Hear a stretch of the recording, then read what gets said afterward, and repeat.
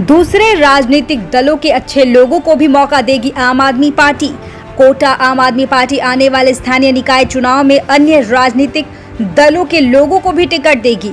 यह बात पार्टी के प्रदेश अध्यक्ष कोमल उपेंडी ने कही। उन्होंने कही कि पिछले दो महीने में हमने बृहद पैमाने पर सदस्यता अभियान चलाकर बड़ी संख्या में नए सदस्यों को पार्टी से जोड़ा है। दूसरे दलों के ऐसे लोग जो आम आदमी पार्टी के सिद्धांतों से सहमत है वे पार्टी में शामिल हो सकते हैं।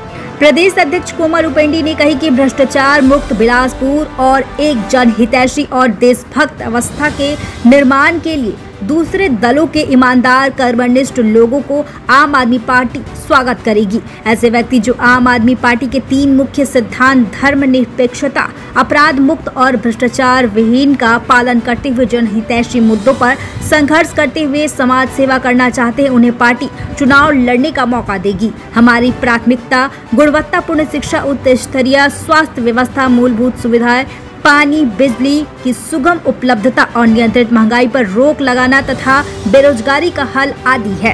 हम सभी दलों के ईमानदार नेताओं से आग्रह करते हैं कि बिलासपुर के सार्वजनिक विकास के लिए व्यवस्था परिवर्तन की इस अहम लड़ाई में आम आदमी पार्टी से जुड़े। पार्टी उन्हें स्थानीय निकाय चुनाव में तवज्जो देगी।